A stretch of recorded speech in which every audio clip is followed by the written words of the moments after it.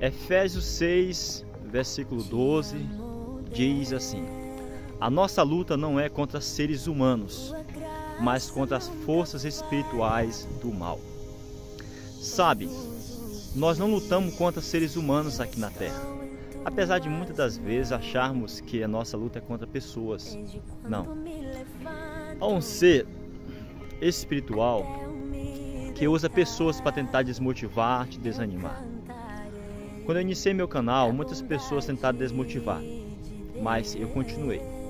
E mesmo com o canal crescendo, há comentários muitas das vezes que nos deixa triste, mas devemos ser surdo, cego para esse tipo de comentário.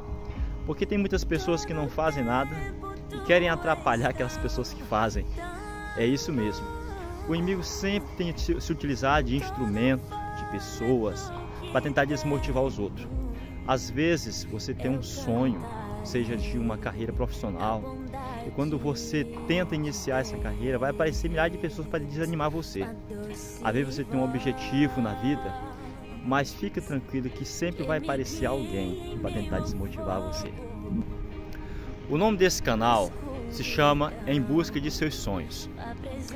Nele eu gosto de gravar vários vídeos motivando as pessoas a ir em busca dos seus sonhos. Tem vídeos de viagem, vídeos de passeios, tentando colocar coisas produtivas, coisas que venham a incentivar de forma positiva a vida das pessoas.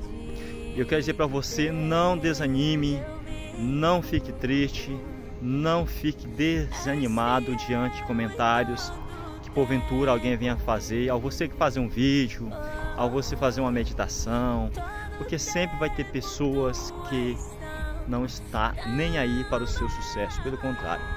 Existem muitas pessoas invejosas. E a inveja nada mais é do que não é querer estar no seu lugar. É só o fato de você não ser bem-sucedido, as pessoas invejosas já se sentem felizes com isso. Mas nosso canal tenta motivar as pessoas a conseguir seus objetivos. Nós não temos inveja, pelo contrário, nós queremos seu sucesso, meu amigo. Queremos que você cresça. Toma a iniciativa de fazer algo que você gosta. Você vai ver que a sua vida vai ser outra. Pois é. Então, a partir de hoje, fique surdo e cego para os comentários negativos que venham chegar até o seu canal, que venham chegar até seus ouvidos. Forte abraço.